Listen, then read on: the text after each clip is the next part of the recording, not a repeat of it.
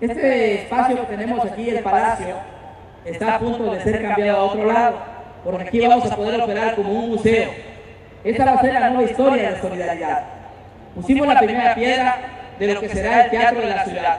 Y es aquí donde quiero hacer un alto y una reflexión y una mención muy especial del señor gobernador del estado por el respaldo que usted le ha dado al haber sido el principal promotor de esta obra para la cultura y el sano entretenimiento de todos nosotros los solidarenses.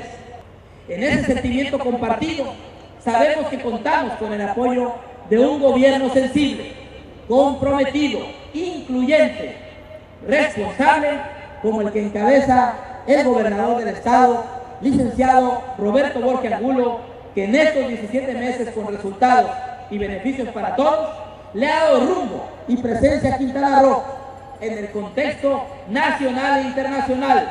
Haremos lo que debamos de hacer para que nos vaya bien a todos. Como bien dijo el gobernador Roberto Borges en reciente mensaje hace unos días, Quintana Roo nos necesita unidos. Tenga mi palabra, señor gobernador, que en los tiempos que vienen mantendremos la unión. Eso es un compromiso.